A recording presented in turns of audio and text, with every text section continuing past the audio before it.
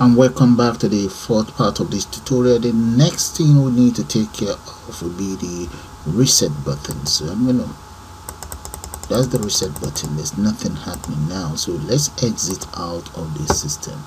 And right underneath this function here I'm going to declare another function there and I'll call it reset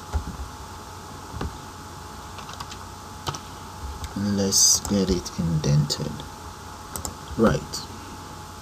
So the following will be let me get those variables yeah there they are right here.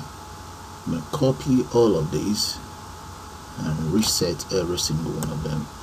Okay, this is already in place so let's come right down and paste it right underneath here and let's get this one indented.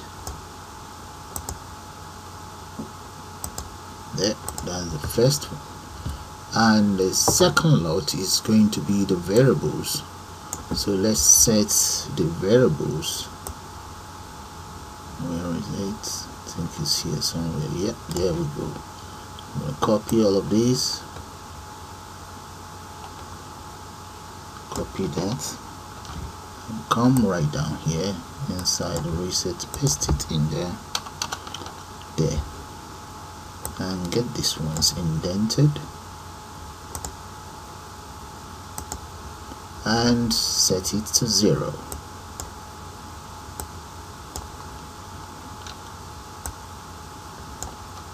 Yeah. Okay let's get rid of that let's repeat the same thing for the others.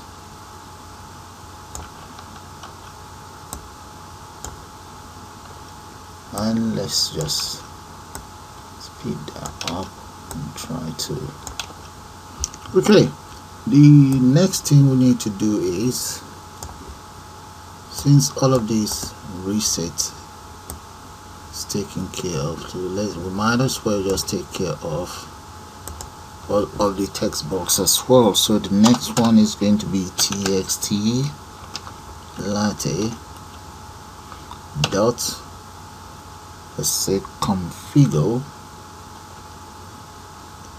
right there configure say the state of it is going to be equals to disabled. Close that and we just speed that up for the rest text box so that's it for the rest text box there. So we've taken care of the reset functions. The reset function is taken care of. So all I need to do now is to go for the reset button and use command to call the function. And right here we have the reset button. So underneath here I'm going to enter comma command equals reset. That is it.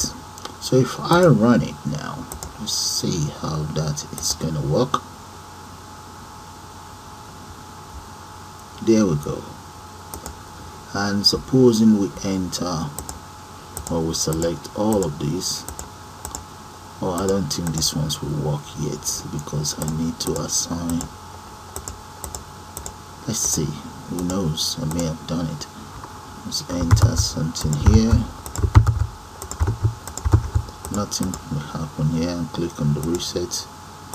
Okay I need to assign the values on them. Okay then let's come in here. Let's try to see the arrow so that I can pick, it from there. We'll run it again. So let's say enter something here and click on reset. Good. Now give me the arrow. Okay.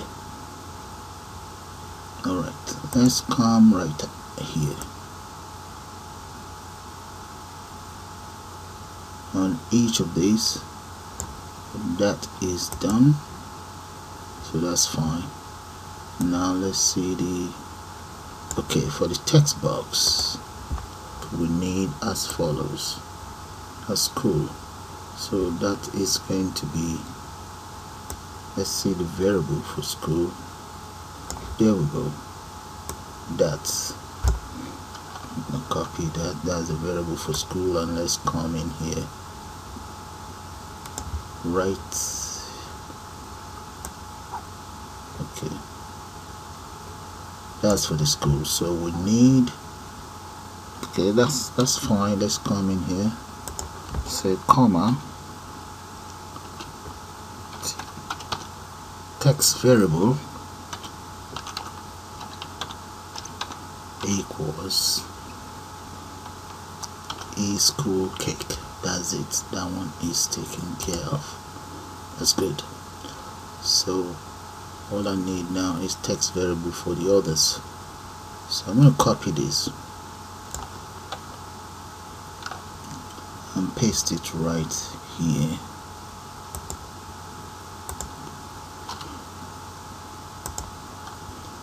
And this will be yeah that's it sunny change this to e sunny.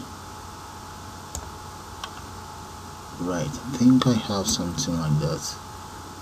Let's look for that. Yeah e sunny. Yeah that's correct. Then the other one is e jonathan. Okay e jonathan cake. That's e jonathan cake paste and just copy this.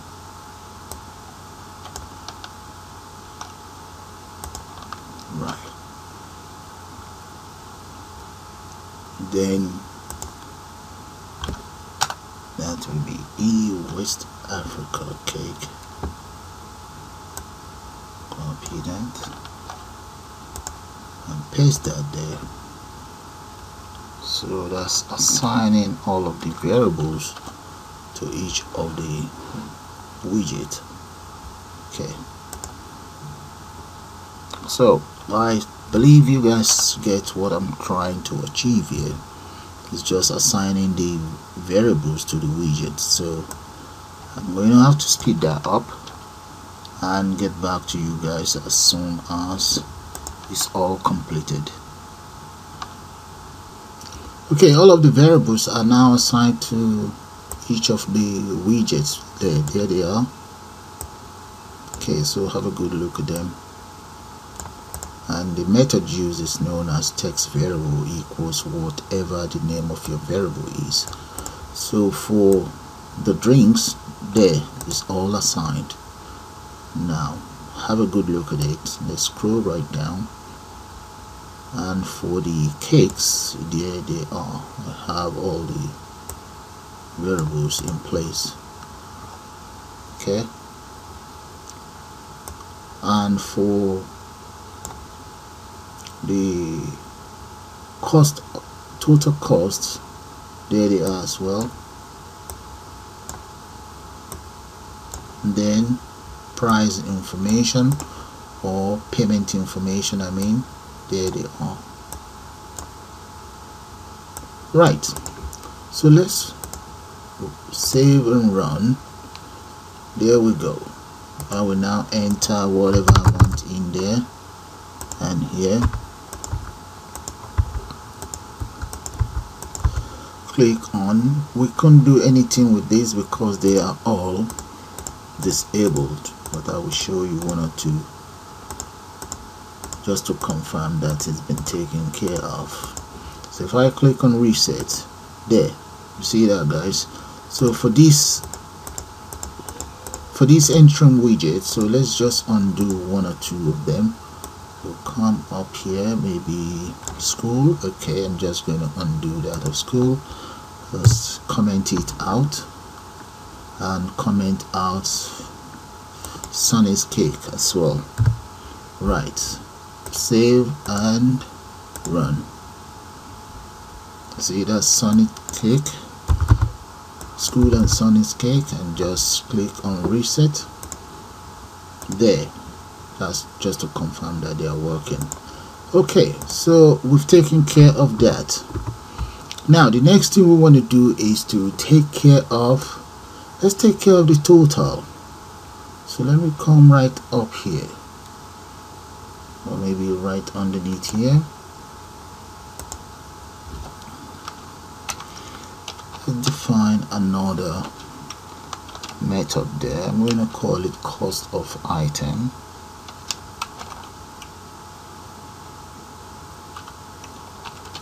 There.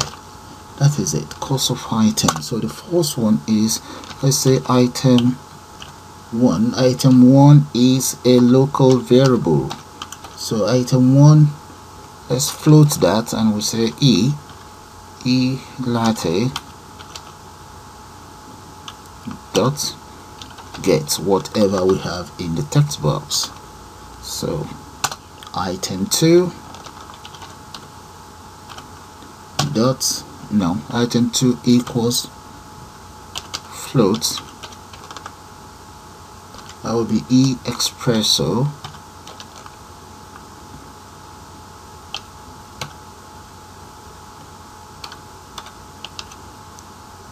espresso. Dot. Get there. So I'm going to repeat the same thing for the rest and let's speed okay those are all of the content on each Entrum widget now assigned into this various item. So what I will now do is to speed that up. There that is to sum up the whole product. Okay? I had to break this one into two that's why that is what this sign stands for. If I don't enter that that means I'm going to have to paste it all on the same line just like this. But so that you guys can see it that is why I use backspace there. Okay? So what's going on here is whatever amount of latte you want is then multiplied by the price of latte item 1 multiplied by 1 pound 20 item 2 that's espresso multiplied by 1 pound 99p and item 3 that is iced latte that's multiplied by 2 pound 5p and so on. That's what's going on here. There. And whatever the the total of drink of drinks is stored in, into this variable while the total of cakes is stored right in into the cake variable there and is then stored into this my variable into this my that is supposed to be the entry okay entry widget and the other widget and this is the service charge. The service charge is standard. Okay? Service charge is stored into the entering widget for the service charge. And subtotal there. Subtotal is then stored inside the widget of subtotal. Then we have the tax. The same thing applied for the tax here we work out the tax and store it right inside pay tax. Then the tax and the subtotal is added to give us total. That's it right there. So have a good look at the codes. I had to speed this up. It's taking too long because there's still two more process. So let's run it and you guys see what I'm talking about. But right now we won't be able to do anything because there's still more process to go through. And this very one is going to be we're going to have to use some other method here to take care of that. So in the case of the text of the check box let's declare another function. The very first function is going to be known as chk latte chk latte. So we use an if statement. If value 1 dot get equals 1 this is what I want the system to do. Txt latte dot configure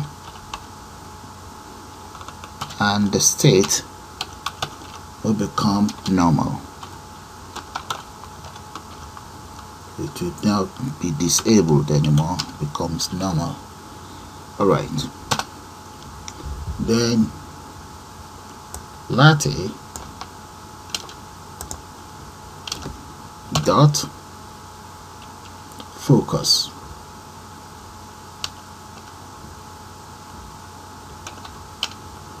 right.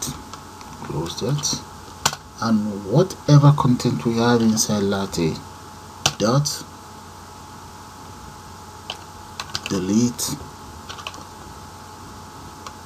whatever content we have inside it.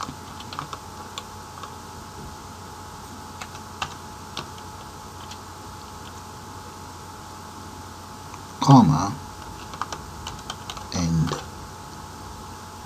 then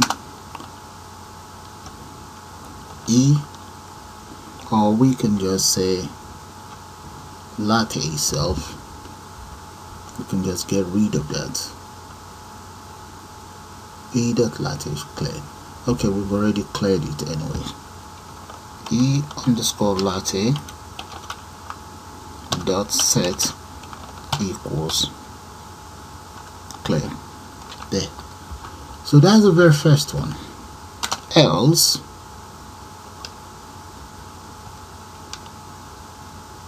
we have to de-indent that. Go to go there and indent it. Oh this has to be indented. So that was correct. All of this has to be indented. Okay good. Now if this equals zero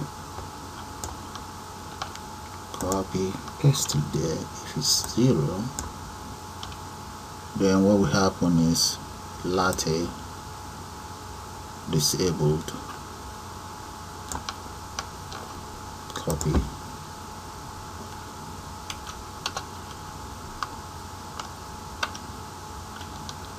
That becomes the state becomes disabled.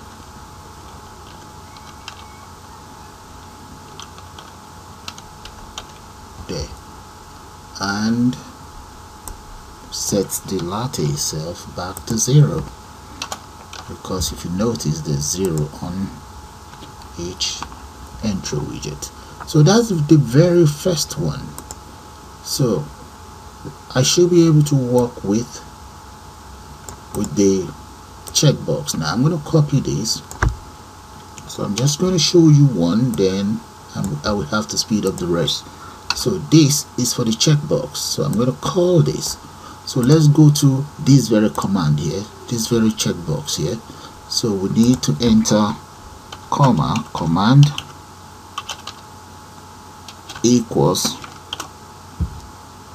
chk latte so if I run it now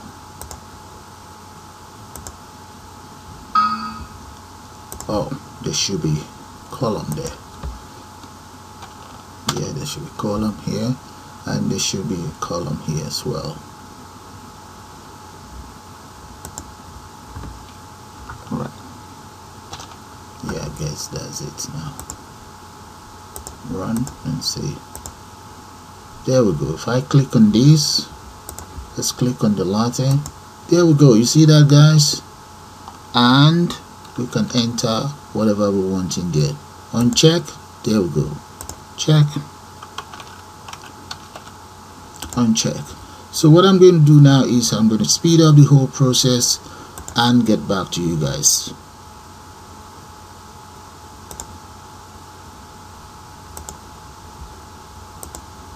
So let's speed that up. Okay.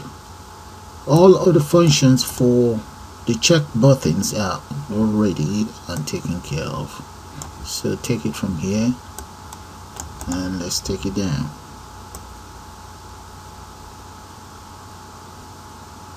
it's all the same lines of codes just to to enable the text widget. There we go.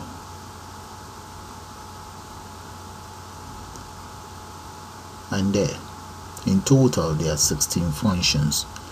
And then each function are then called inside each individual checkbox or check button like you can see as we have called them all. Right so let's take it down.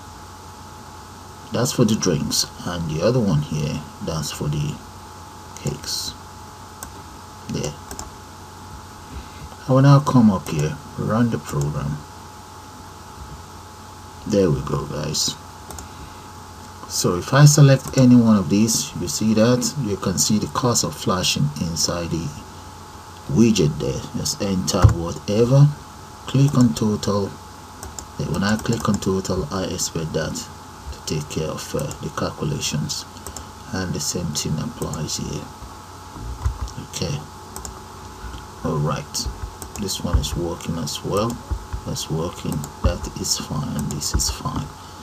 Alright. So all that is left for us now is to be able to click on total and let's see the outcome here and the receipt. So let's take care of the receipt. In the case of the total we need to call that right. Let's come in here. We meant to call this. Yeah we're meant to call that inside the total. So copy that. Come right down. We need the button total. There we go. That's the total. We're supposed to say comma command equals that. That is total taken care of. So let's run it again.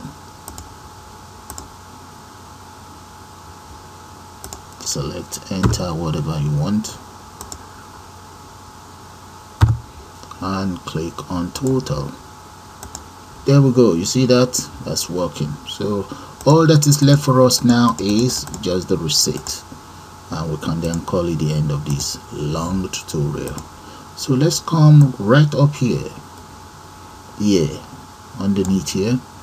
So I'm going to declare another variable sorry another mm, that would be method another method and that method will be called we'll call that receipt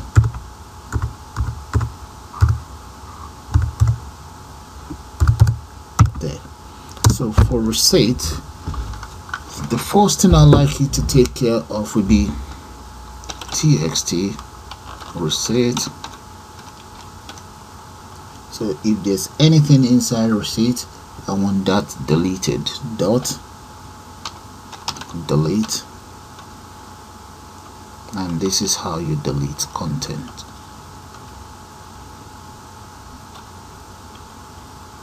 Now that will be 1.0 and there. That's that taken care of. Then I'm going to declare a local variable x equals random. So that's to generate random numbers. Dot rand integer. And you just give it whatever value. So let me say this is going to be 10,000 plus. From the range 10,000 plus to maybe 6,000 or 600,000 plus. There we go. That's the range. Now rand random ref that's a variable equals be converting the text value to a string. And here we then say receipt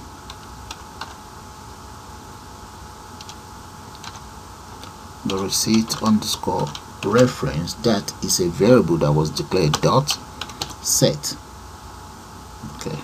And come in here. And this can just be let's, let's just enter bill plus random. Let's get rid of that. That's paste that in there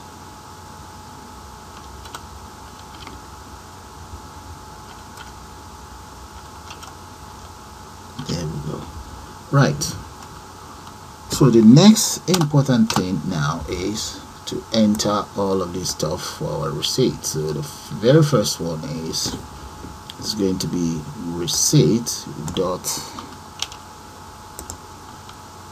receipt dot insert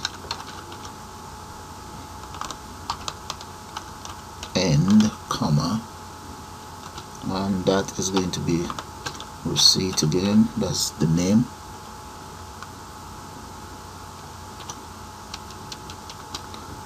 Reference and column.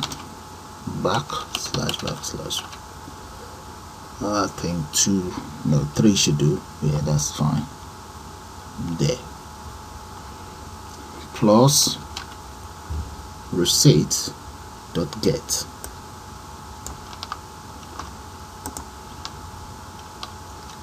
plus receipt.get get change this one to G.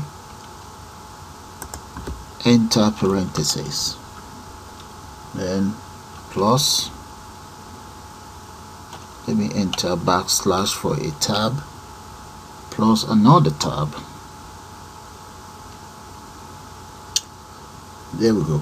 That's plus then the date of order. Date of order happens to be one of my early variables that was created dot get. And that's all there is to that. Okay so all we need to do now is just to add add a new line. There we go and close that up. That is that done can just copy that now. Copy. And use that for the next one. So for the next one that is going to be that's going to be items. Let's close that and just enter item there. And the item is going to be in the case of these there's nothing there it's just going to be cost of item.